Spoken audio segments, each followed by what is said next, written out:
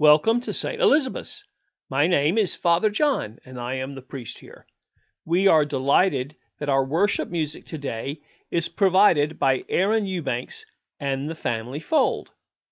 They usually play a service for us during the summer, and they also play at the Christmas party each year. Eryn, as you may know, is the granddaughter of Chris and George Armijo. We thank them for contributing to our worship today. You can download the bulletin using the link in the description below, and you will also be able to access this week's announcements with another link there. Allow me to continue reminding you to send in your names and photographs for our All Saints service, which will be Sunday, November the 1st. Any loved one who you would like to remember is welcome. I also ask you to prayerfully consider your stewardship for 2021. We will also dedicate the pledges for our stewardship campaign on November the 1st. Please like or comment on this video, and we invite any visitors to email us to let us know that you stopped by. Now let us begin our worship by listening to two pieces prepared by the Family Fold. Welcome to St. Elizabeth's.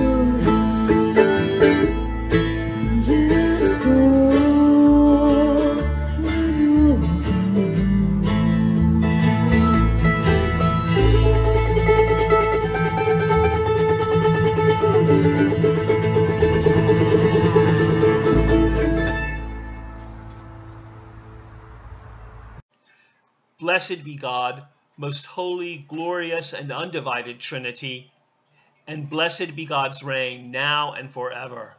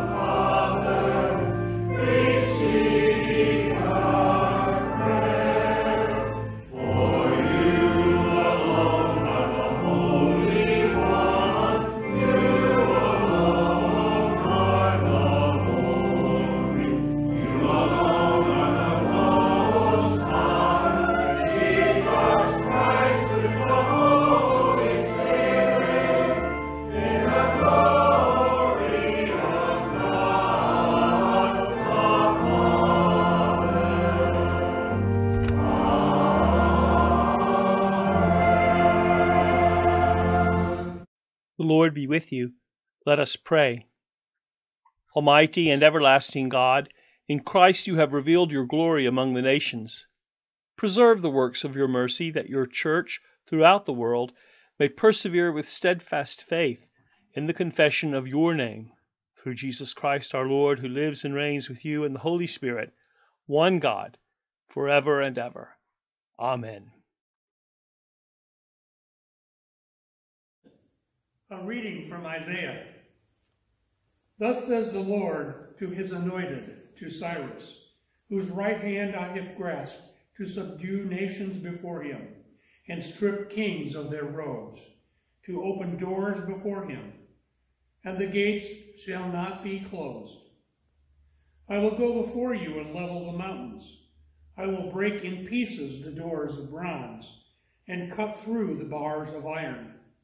I will give you the treasures of darkness and riches hidden in secret places, so that you may know that it is I, the Lord, the God of Israel, who call you by your name.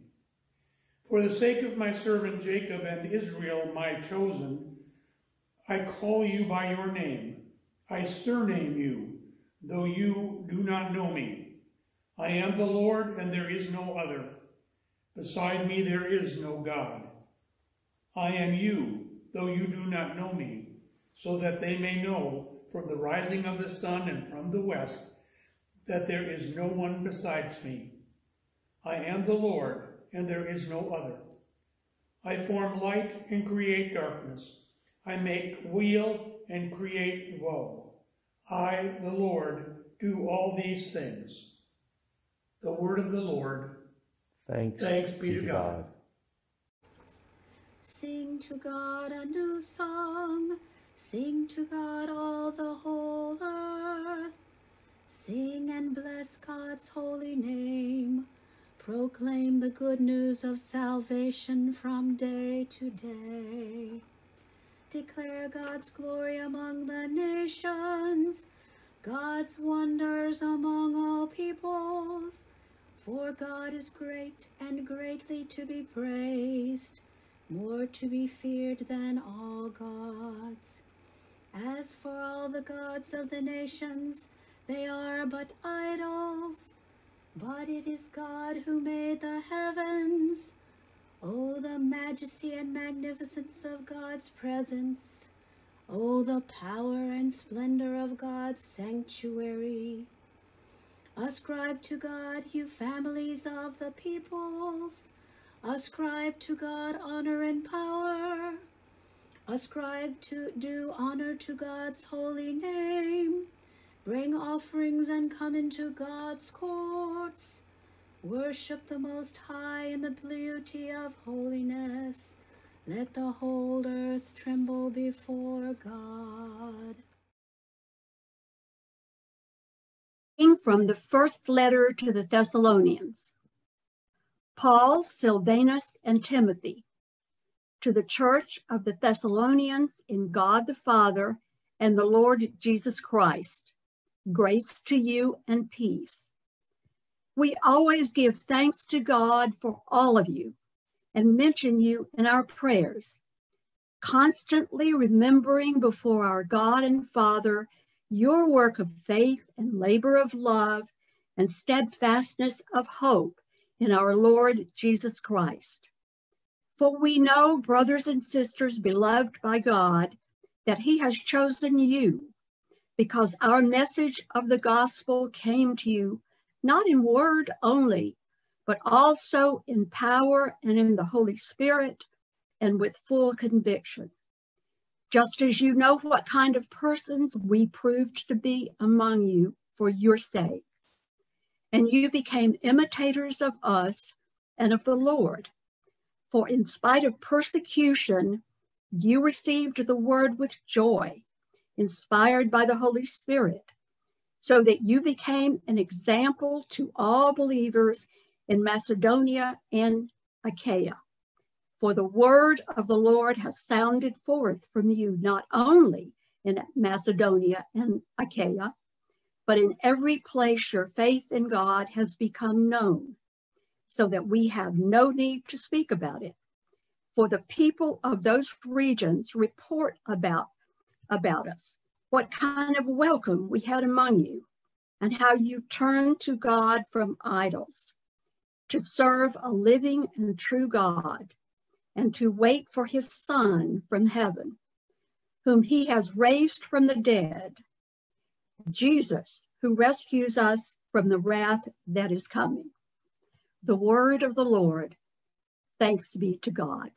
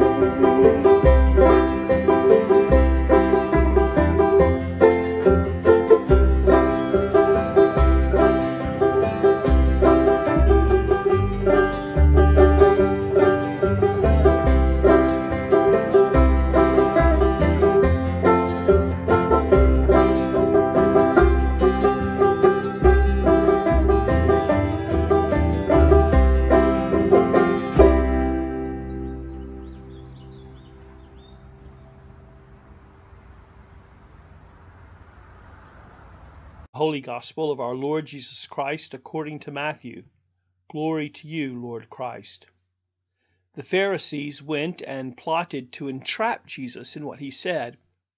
So they sent their disciples to him along with the Herodians, saying, Teacher, we know that you are sincere and teach the way of God in accordance with truth, and show deference to no one, for you do not regard people with partiality.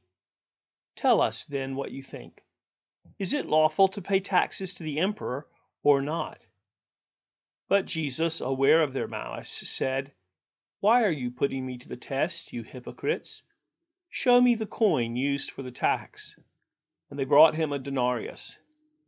Then he said to them, Whose head is this, and whose title? They answered, The emperor's.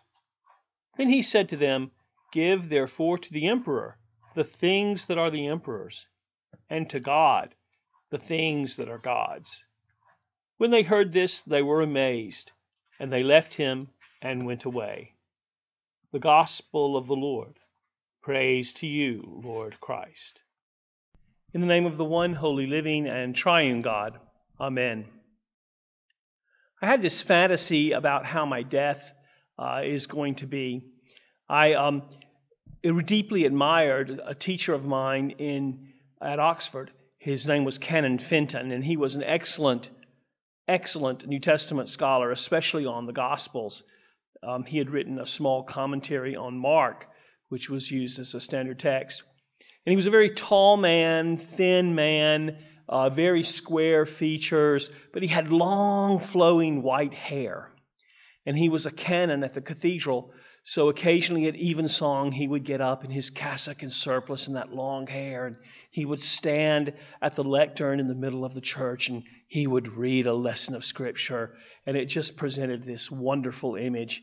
And I'd often thought that the way I would like to die would be to be like Canon Fenton you know, I'd like for me to have finished reading the first lesson, and the choir would be singing the first canticle, and it would be time for me to get up and read the second lesson. And a choir boy would have to come and poke me because I wasn't getting up to read the second lesson, and I would just bend over dead. Yeah, it's kind of a strange fantasy. I can't believe I'm going to share that with you, but I, but I am. And of course, when the pandemic started and we stopped cutting our hair, I decided I was going to try again to see if I could grow long flowing hair like that that Canon Fenton had. Image, what we project, how we try to make our outsides reflect what we feel on the inside. I've been watching a legal drama and I was become very aware that lawyers often have to put their office together and their suit together and their car together to project an image so that their clients will be attracted to them, to think that they are successful, that they are powerful. Me, in my practical mind, I just see someone who charges too much and spends money way too much. For me, I'd like someone just to represent me and keep me safe in the court. But the thing is, there are not many people who are like me. And so they have to play this game, this image game. And then I've been so delighted that um, Eryn Eubanks and the Family Fold are providing our worship music today. And of course, the image they project is very wholesome and healthy and folksy. And I think that's very accurate, knowing who they are and the sincerity and the honesty of who they are. Image. This image. Is our image truthful to ourselves? And if so, is our image also conveying to the world what we really want to say about ourselves? And is the world mature enough to accept and respect the truthfulness we're trying to say in our use of image. Of course, I'm brought to this, to this idea of image because of our gospel reading today. Jesus is uh, embroiled in controversies with the Pharisees and the Herodians, and they're constantly trying to trap him. And so um, they ask him a question which is meant simply to get him in trouble Is it okay to pay taxes to the emperor?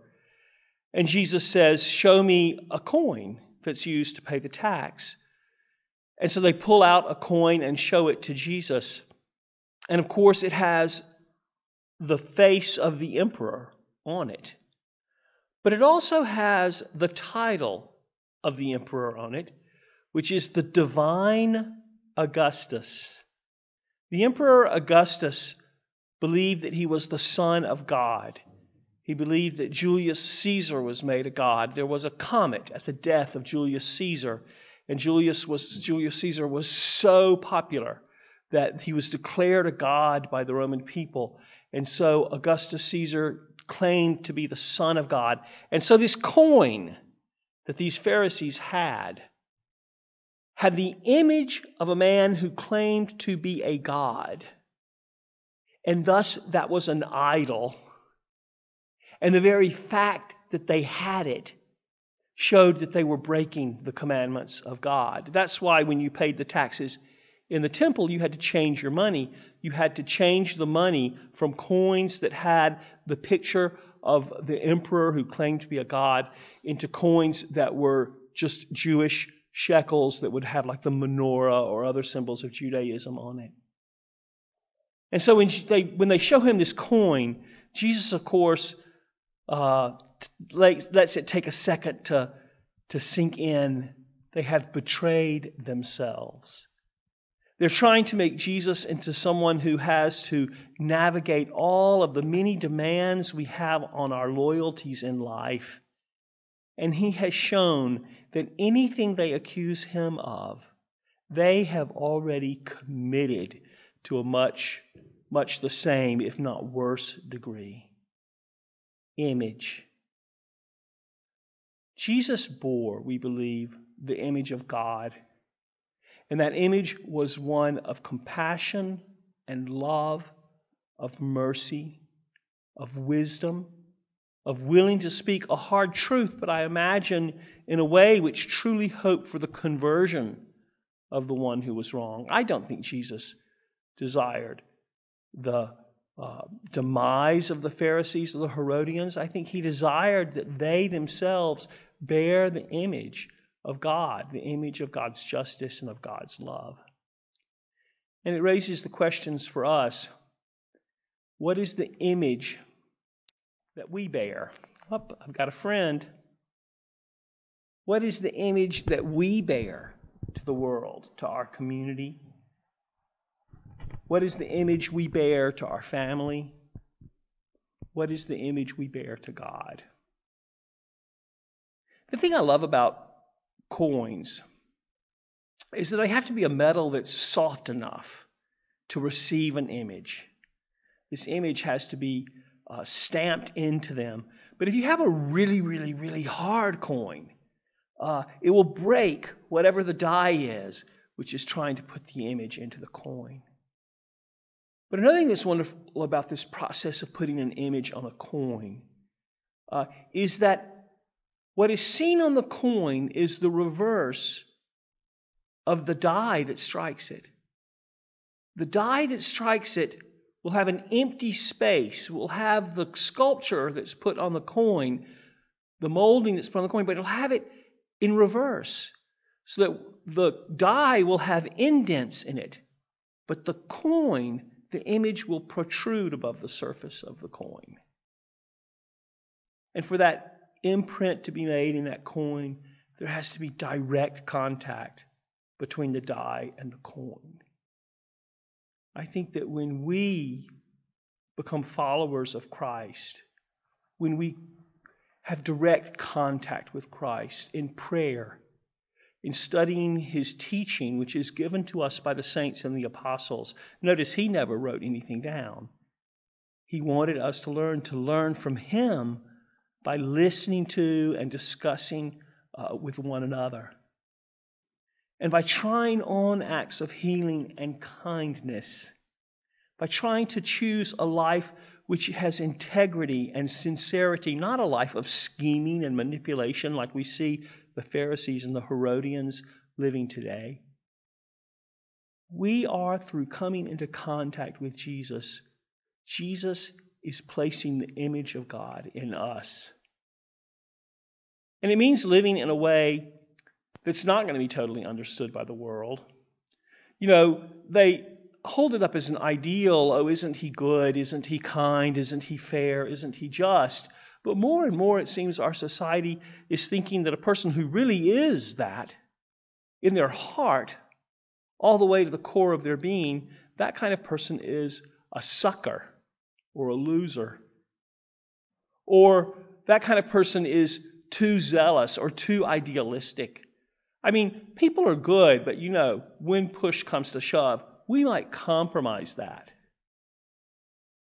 But when a person bears the image of God, when one is aware of being in the presence of God at all times, when one comes to believe that the truest thing about the universe is love, patience, compassion, forgiveness, when one comes to understand that there is a joy and a peace and a delight for our souls that is greater than anything wealth or fame or power can give us, because it is, in fact, the very point of contact with God, then the image of God becomes our most important thing.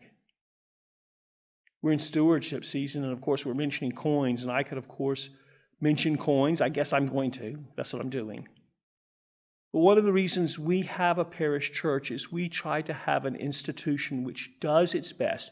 It doesn't always do the best, but which tries its best to hold up a vision for humanity which is sincere and real and true and is not based on power, but has grace and love for everyone. When we try to support our parish church, when we try to support the church, that's what we're doing. And when we try to live that way through service others, that's what we're doing. St. Paul in this lesson he this lesson we read today, this letter to the uh, to the Thessalonians, he says that their example of faith has become well known throughout all of their area, Macedonia and I can't remember if Macedonia and Thyr, in that area. Achaia, I can't remember. But wouldn't it be wonderful if we, if we could so follow Jesus, if we could so allow the image of God to be imprinted on us, that people could say that St. Elizabeth's community, that's a place where people really try to be sincere and have integrity, where they honor everyone. They're not interested in fame, they're not interested in status. They're not interested in wealth. They're interested in just simple love, compassion, and acceptance. As your priest, that's what I hope I can inspire here. I hope I can live up to that. It's so easy to be enticed down another path. It's so easy to be worried about image. But where that true loyalty lies, where that image of God really lies, is imprinted on our heart. It molds and transforms our heart. And that heart, I think, can become pure so that it is always focused on what is God. Jesus says to the Pharisees, Give unto Caesar the things that belong to Caesar, but give unto God the things that belong to God. Well, of course, the reality is it all belongs to God. And so everything we do, everything we do should have uh, the integrity and the purity of God, of Christ. So, brothers and sisters, let's aim for it. It's a high aspiration, but with God's help, with the inspiration of the Holy Spirit, with the wisdom of Christ, with the grace of the sacraments and faithfulness to study of the scripture and of the tradition, God can work in us, can imprint the image of God on our hearts. In the name of the one holy, living, and triune God. Amen. Let us pray for ready and undivided hearts to love both God and neighbor and to bear in our hearts, minds, and bodies the image of Christ as we remember before God the needs of the church and the world. That the people of faith throughout the world may answer the competing demands of family, commerce, culture, and nation, while always remaining faithful to their divine calling. Gracious God, create in us ready and undivided hearts. Guide and guard Michael, our presiding bishop, Robert, our bishop, John, Robert, and Walton, our priests, and all faith leaders that serve and nurture your people ever deeper into the gifts of the Holy Spirit. Gracious God, create in us ready and undivided hearts. Through and indeed, when necessary, despite the leaders of the world, to build just and equitable communities for all people. Break down the divisions between people that a spirit of friendship and kindness may unite all humankind. We pray especially for Donald, our president, Brian, our governor, Sam, our mayor, and Chris, chairperson of the county commissioners. Gracious God, create in us ready and undivided hearts. Assist the hungry, the prisoner, and the soul weary, the unemployed, and all in any need or trouble. Strengthen the body and delight the heart of those who answer the call to serve others, especially the Literacy Coalition. Gracious God, create in us ready and undivided hearts. Sustain the people of the world as we endure this pandemic. Protect essential workers, healthcare professionals, all armed services, and all in increased danger. Send us effective treatments and an end to this pandemic. Gracious God, create in us ready and undivided hearts. Grant healing and peace to all who have asked our prayers, especially Alice, Sue, Devin, Davis, Pam, Elise, Jackie, Paul, Rosa, Pat, Pete, Henry, Angie, Terry, Jenna, Pat, Christy, Keegan, Ginger, Christina, Robert, Richard, David, Dorothy, Margaret, Sharon, Judy, Joy, Vicky, and Skylar. Gracious God, create in us ready and undivided hearts. Be with those who celebrate birthdays this week, especially Jackie, and bless those who celebrate anniversaries, especially Cindy, Gary, and Gary. Grant them joy and great faith in your goodness, gracious God. Create in us ready and undivided hearts. Welcome into your abiding peace all who have died, especially Marilyn, and give solace to those who grieve, especially the Roberts family. Gracious God, create in us ready and undivided hearts. Give us enthusiasm, the will, and the resolve to pursue our mission in this parish, proclaiming God's, God's word, word celebrating God's love, sharing God's, God's gifts. Oh God, all we have is yours life, existence, our very souls. Shape us into your image, that we may reflect the glory of your creativity and the delight of your love. Fulfill our prayers according to your loving purpose, and fashion us with the Blessed Virgin Mary, Blessed Elizabeth of Hungary, and all your saints into a people worthy to be called your children. We pray in Christ through the Holy Spirit, who with you live and reign one God, forever and ever. Amen. Now, as our Savior Christ has taught us, we are bold to say, Our Father, who art in heaven, hallowed be thy name. Thy kingdom come, thy will be done, on earth as it is in heaven. Give us this day our daily bread, and as we forgive those who trespass against us. And lead us not into temptation, but deliver us from evil.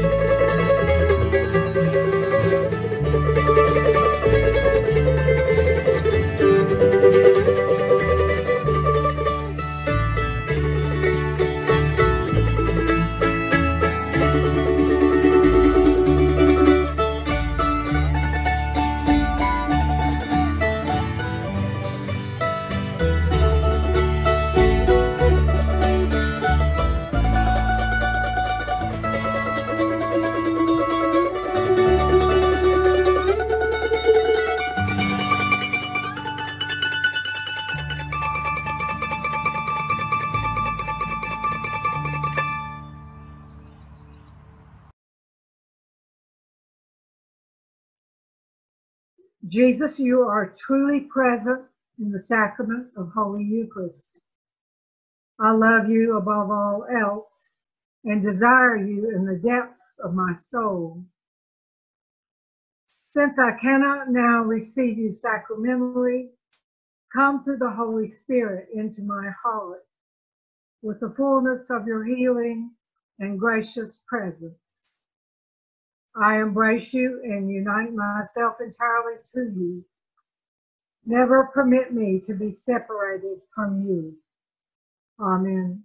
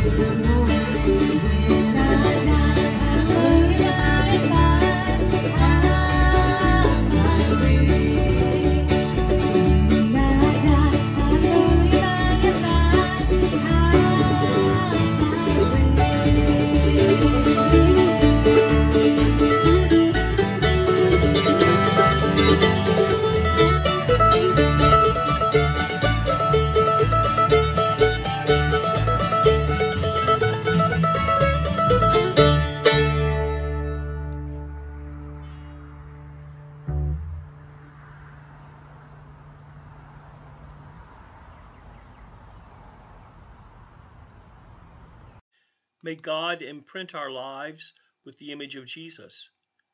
May our hearts be undivided and fixed on God, not dispersed and distracted by other ways. May we render to God all that is God's, and the blessing of God Almighty, the Father, the Son, and the Holy Spirit be with us all and remain with us always. Amen.